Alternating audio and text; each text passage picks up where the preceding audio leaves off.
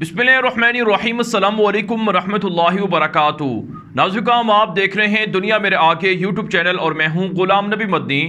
آج انتیس جولائی دو ہزار اکیس ہے اور آج دن ہے جمعرات کا۔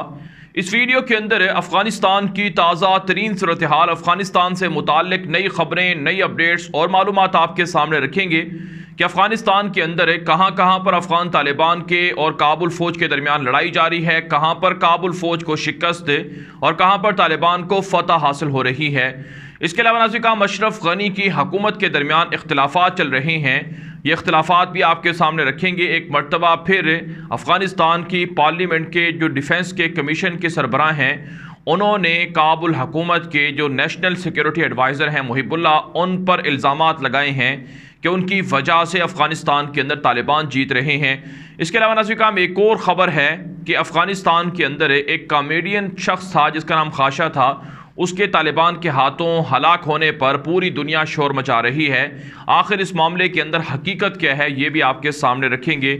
افغانستان کے حوالے سے اشرف غنی نے ایک تازہ بیان بھی دیا ہے کہ طالبان کے ساتھ وہ صلح کرنا چاہتے ہیں۔ اس میں کتنی صداقت ہے؟ کیا واقعی اشرف غنی طالبان کے ساتھ کسی ڈیل پر رضامند ہو چکے ہیں؟ یہ بھی آپ کو بتائیں گے۔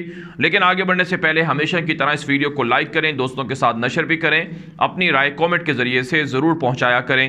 سب سے پہلے ناظرین کام بات کر لیتے ہیں افغانستان کی تازہ صورتحال کی، جو کابل حکومت کا میڈیا ہے، طلوع میڈیا اس نے رپورٹ دی ہے کہ افغانستان کے بیس صوبوں کے اندر گزشتہ چوبیس گھنٹوں سے لڑائی جاری ہے۔ جس کا مطلب یہ ہے کہ افغان طالبان اور کابل فوج کے درمیان گھمسان کی جنگ بڑھ چکی ہے۔ اور فیصلہ کن کاروائیاں تیز ہو چکی ہیں۔ اس حوالے سے ناظرین کام جو طالبان کے ذرائع ہیں، وہ خبر دے رہے ہیں کہ صوبہ ہرات کے اندر افغان طالبان کا محاصرہ کامیاب ہو رہا ہے۔ ویسے تو پورے صوبہ ہرات کے اندر طالبان کا کنٹرول ہے، لیکن جو مرکزی کیپٹل سٹی ہے ہرات کا اس پر طالبان کا مکمل قبضہ نہیں ہے۔ وہاں پر طالبان نے محاصرہ کر رکھا ہے۔ تو افغانستان کا صوبہ ہرات ہے، یہاں کا کیپٹل ہے۔ یہاں پر افغان طالبان نے محاصرہ کیا تھا اور یہ محاصرہ کامیاب ہوئے ہے۔ اس کے نتیجے میں مرکزی شہر کی ایک چیک پوسٹ فتح ہوئی ہے اور کئی کابل فوجی ہتھیار ڈال کر سرنڈر بھی ہوئے ہیں۔ اس وقت یہ جو ویڈیو آپ ہماری سکرین پر دیکھ رہے ہیں، اس ویڈیو کے اندر دیکھا جا سکتا ہے کہ کابل فوجی رات کے اندھیرے میں طالبان کے سامنے سرنڈر ہو رہے ہیں اور طالبان انہیں ویلکم اور خوش آمدید کر رہے ہیں۔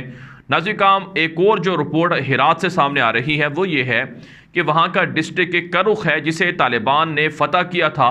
پھر کابل فوج نے آپریشن کر کے طالبان سے دوبارہ قبضہ لے لیا اور اس کے بعد طالبان نے اب دوبارہ وہاں پر کاروائی کی ہے اور تقریباً تین چار دنوں کے بعد کابل فوج کو وہاں سے بھگا دیا ہے اور دوبارہ کرخ ڈسٹرک کا قبضہ کر لیا ہے۔ تو اس اعتبار سے یہ آنکھ مچولی اور طالبان کی کابل حکومت کے خلاف ہے جو کاروائیاں ہیں یہ جاری ہیں اور صبح ہرات کے اندر طالبان کو بھاری اسلحہ، مال غنیمت اور کامیابیاں بھی مل رہی ہیں۔ اسی طرح سے ناظر کام افغان طالبان کو صوبہ کندھار اور ہلمت کے اندر بھی کامیابیاں مل رہی ہیں۔ ایک بڑی خبر سامنے آ رہی ہے کہ صوبہ ہلمت کے مرکزی شہروں کی طرف طالبان کا رخ ہو چکا ہے۔ اور افغان طالبان صوبہ ہلمند اور صوبہ کندھار ان دونوں مشہور صوبوں کے مرکزی علاقوں کے اندر کنٹرول حاصل کر رہے ہیں۔ رات کے افغان طالبان کو ان دونوں ان دونوں صوبوں کے اندر بڑی فتوحات ملی ہیں۔ تقریباً دونوں صوبوں سے پندرہ سے زائد چیک پوسٹیں طالبان فتح کر چکے ہیں اور چالیس سے زائد کابل فوجی یہاں ہتھیار ڈال کر سرنڈر ہوئے ہیں یا پھر گرفتار کیے گئے ہیں۔ جبکہ حملوں کے اندر کابل فوج کے نو فوجی ان علاقوں کے اندر مارے گئے ہیں۔ تو کندھار کے اندر ہلمند کے اندر طالبان کو فتح مل رہی ہے۔ اس کے علاوہ جو غزنی صوبہ ہے، ننگرہار ہے، خوست ہے، سمنگان ہے، بغلان ہے، اور دیگر صوبوں کے اندر بھی طالبان کا محاصرہ ہے۔ جبکہ ناظر کام، ایک خبر یہ بھی سامنے آ رہی ہے کہ ننگرہار میں ایک چیک پوسٹ طالبان نے فتح کی ہے۔ نو فوجی قتل کر دیے گئے ہیں اور کئی زخمی ہوئے ہیں۔ مشہور کمانڈر بھی کابل حکومت کا پکڑا گیا ہے زخمی حالت میں۔ تو یہ افغانستان کی تازہ صورتحال ہے۔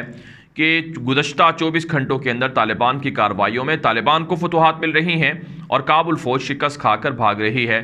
اس کے مقابلے میں ناظری کام اگر کابل کی ڈیفنس منسٹری کے ٹویٹر اکاؤنٹ کو چیک کیا جائے تو وہ بھی وقفے وقفے سے دعوے کر رہی ہے کامیابیوں کی اور طالبان کے کمانڈروں کو شہید کرنے کا بھی دعویٰ کرتی ہے۔ ایک ایک رپورٹ چلائی گئی کہ صبح کندھار کے ایک ضلع کا طالبان کا کمانڈر تھا، اسے قتل کر دیا گیا ہے۔ بمباری کے اندر لیکن افغان طالبان نے ویڈیو جاری کر کے اس کی تردید کر دی کہ یہ چھوٹا پروپیگنڈا ہے اور خود اس کمانڈر نے کہا کہ میں زندہ ہوں اور میرے ساتھ جو مجاہدین ہیں وہ بھی موجود ہیں۔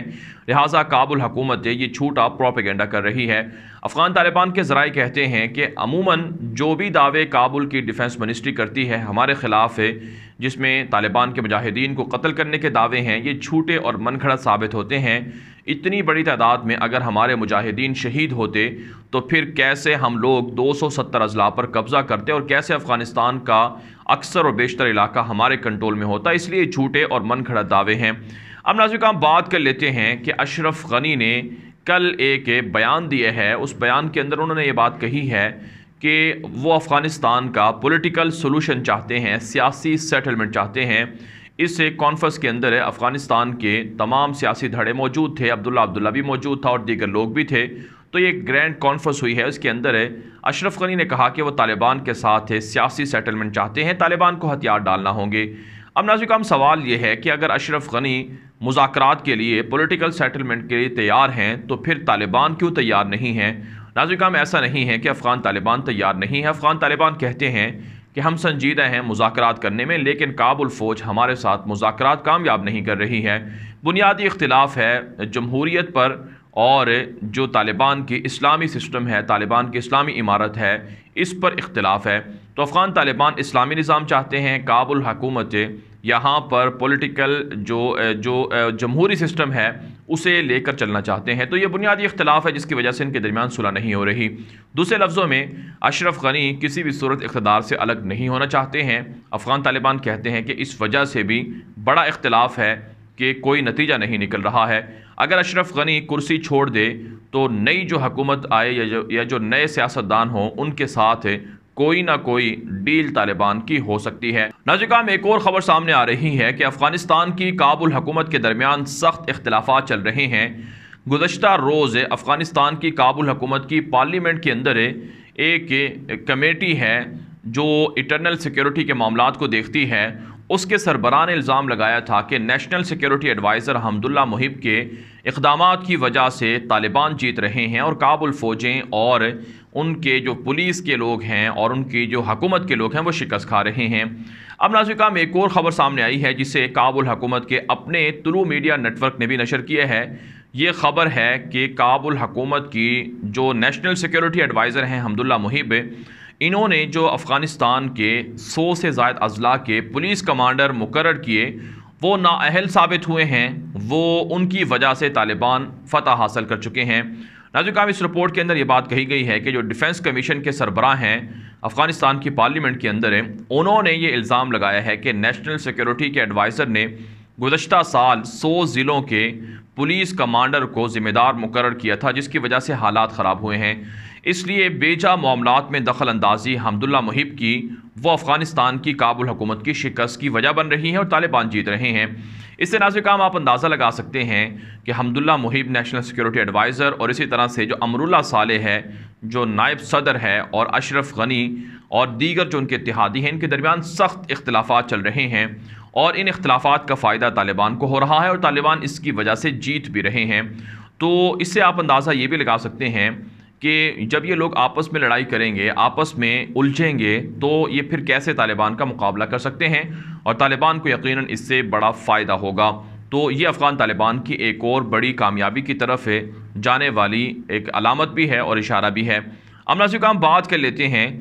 کہ افغان طالبان پر ایک الزام لگ رہا ہے کہ افغان طالبان نہتے شہریوں کو قتل کر رہے ہیں۔ اپنے مفتوحہ علاقوں کے اندر وہ معصوموں کو نہتے لوگوں کو قتل کر رہے ہیں۔ اور طالبان کو یہ کہا جا رہا ہے کہ جیسے بیس سال پہلے وہ وحشی تھے، آج بھی وہ اسی طرح سے وحشی ہیں۔ حالانکہ ناظر کام، افغان طالبان کہتے ہیں کہ جتنی روایات اور اخلاقیات کے ہم پاسدار ہیں اتنا شاید کوئی ہو۔ افغان طالبان یہ بھی کہتے ہیں کہ ہمارے خلاف یہ چھوٹے اور من گھڑت الزامات لگتے ہیں۔ صبح کندھار کے اندر ایک سو سے زائد طالبان نے لوگوں کو قتل کیا۔ یہ الزام لگایا گیا۔ بھارتی میڈیا پر اور عالمی میڈیا پر خوب پروپیگنڈا کیا گیا۔ یہاں تک کہ جو کابل، فوجی سرنڈر ہوئے، ان کو گولیاں مار دی گئیں۔ یہ پروپیگنڈا امریکہ کے سی این این نے کیا، جسے طالبان نے رد کیا اور کہا کہ جھوٹی خبر ہے۔ اب ناظر کام، ایک اور جو پروپیگنڈا ہے، وہ یہ ہے کہ کابل افغانستان کے مشہور کامیڈین تھے۔ جن کا نام خاشہ اس کا لقب تھا۔ تو خاشہ نام کے یہ کمانڈر تھے، یہ بنیادی طور پر کمیڈین تھے۔ تو یہ وہاں کے آرٹسٹ تھے۔ ان کو طالبان نے قتل کر دیا ہے ان کی تصویریں دنیا بھر کے اندر وائرل کی جا رہی ہیں اور ان کے قتل کی مذمت ہے جو امریکہ کے سفیر ہیں افغانستان کے اندر، انہوں نے بھی کی ہے اور حامد کرزئی نے بھی کی ہے اور امر اللہ صالح اور دیگر لوگوں نے بھی کی ہے۔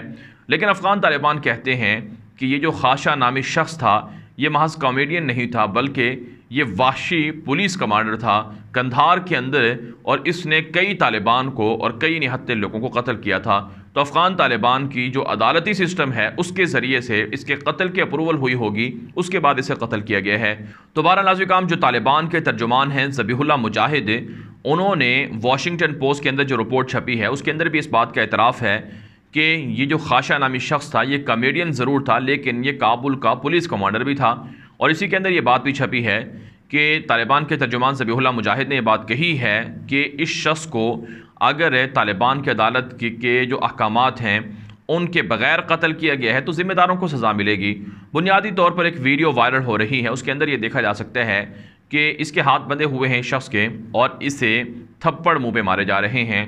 تو اس پر کافی شور شرابہ ہو رہا ہے کہ انسانی حقوق کی وائلیشن ہے۔ حالانکہ جو جو جو واشنگٹن پوسٹ کے اندر جو رپورٹ چھپی ہے، اس میں یہ بات لکھی گئی ہے کہ یہ جو ویڈیو کے اندر بات خاشہ کہہ رہا ہے کہ جو میرے اغوا کار ہیں، انہوں نے مونچھیں رکھی ہوئی ہیں۔ تو ایک طرح سے طالبان کی داڑھی پر اور ان کی مونچھوں پر یہ شخص تنقید کر رہا تھا۔ تو بہر اللہ کام طالبان کہتے ہیں کہ ہم اس کی انویسٹیگیشن کر رہے ہیں کہ اگر اس کو عدالت سے ماورہ قتل کیا گیا ہے، تو طالبان کا عدالتی سسٹم ذمہ داروں کو سزا دے گا۔ لیکن دوسری طرف سے طالبان یہ بھی سوال کرتے ہیں کہ انسانی حقوق کے اداروں کو، مغربی ذرائع ابلاغ کو، مغربی این جی اوز کو اور عالمی میڈیا کو یہ تو نظر آ گیا ہے کہ خاشہ پر ظلم ہوا، لیکن ان کو یہ نظر کیوں نہیں آیا کہ طالبان کے مجاہدین کو، ان کی لاشوں کو کس بے دردی سے، بے حرمتی سے کابل کی پولیس اور فوج قتل کرتی ہے، ان کا مسئلہ کرتی ہے یا انہیں، ان کے سر کاٹتی ہے؟ اور اسی طرح سے طالبان کے مجاہدین پر جیلوں کے اندر کیا ظلم ہوتا ہے؟ پچھلے بیس سالوں سے کس طرح سے نہتے لوگوں کو، مخالفین کو کابل فوجیں قتل کر رہی ہیں اور کیسے طالبان کے لوگوں کو امریکہ نے اور کابل فوج کے لوگوں نے کنٹینروں میں بند کر کے دھماکوں سے آگ لگا کر اڑا دیا تھا۔ تو یہ مظالم دنیا کو نظر کیوں نہیں آتے ہیں؟ صرف ہمارے خلاف پروپیگنڈا کرنا باقی ہے۔ تو اس لیے افغان طالبان کہتے ہیں کہ دنیا کے میڈیا کا یہ دوغلا اور منافقانہ چہرہ ہے جو ہمارے خلاف کیا جا رہا ہے۔ انہوں نے کہا کہ پروپیگنڈا وار سے طالبان کی اسلامی عمارت کو نقصان نہیں پہنچایا جا سکتا ہے افغان طالبان آگے بڑھ رہے ہیں، فتوحات سمیٹ رہے ہیں۔ بارہ نظر کام افغانستان کے حوالے سے اب تک کی تازہ ترین اپڈیٹس جو آپ کے سامنے رکھی گئی ہیں۔ اس حوالے سے جو آپ کی رائے ہو کومنٹ کے ذریعے سے ضرور پہنچائیں۔ اب تک کے لیے اتنا ہی، اجازت دیجیے۔ اللہ حافظ۔